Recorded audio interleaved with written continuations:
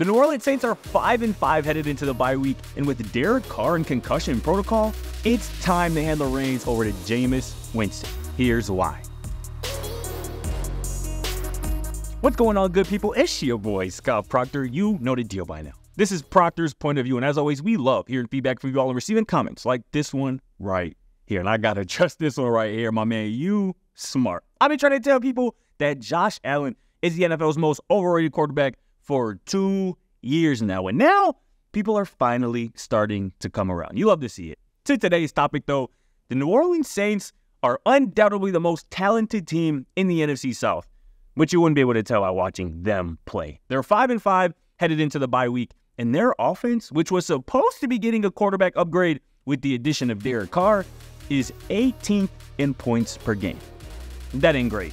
All offseason, we heard about the fact that Derek Carr has never had a top 20 defense when he was playing with the Raiders, and when he did get a good defense, the sky would be the limit. Well, the Saints defense is good.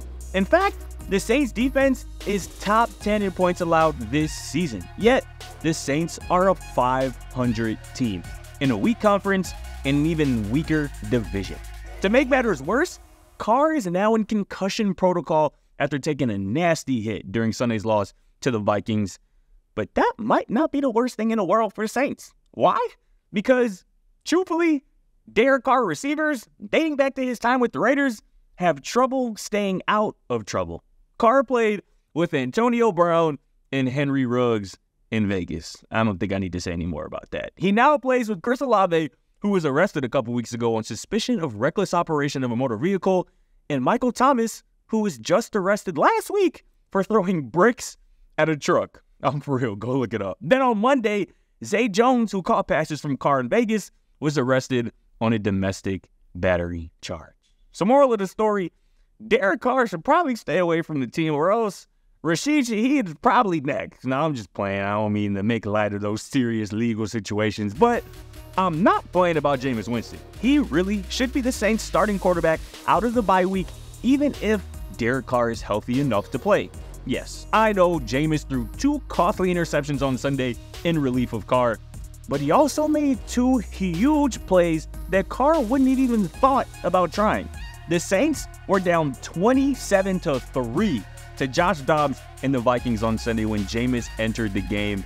And Jaboo proceeded to throw a dime in the corner of the end zone to Chris Olave, who made just a spectacular catch. He then made arguably the throw of the weekend, escaping the pocket to his left, identifying A.T. Perry wide open all the way on the other side of the field in the right corner of the end zone, and throwing a ball 48 yards in the air for a 15 yard touchdown to make that a one score game.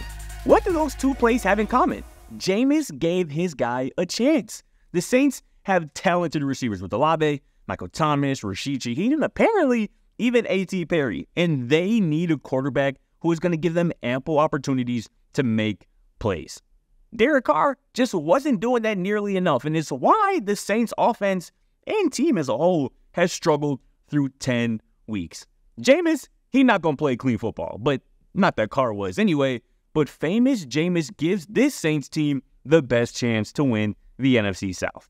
Speaking of the NFC South, there happens to be a clown coaching the Atlanta Falcons. Go check out my recent Procter's point of view for more on that. And here's that answer to the trivia question, the one I teased at the top. I'll see y'all right back here tomorrow for Fan Friday.